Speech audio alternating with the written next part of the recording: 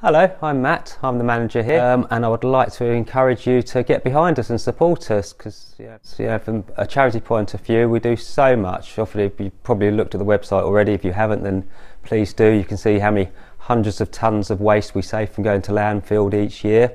Also, we get involved with a lot of different volunteers from very different um, backgrounds and different walks of life that we um, help through various situations and problems that they may have had in the past and other times it's just retired people that have a bit of spare time in their hands that just want to get involved and do some good. We're a local community um, charity which you know great to, to support the local community.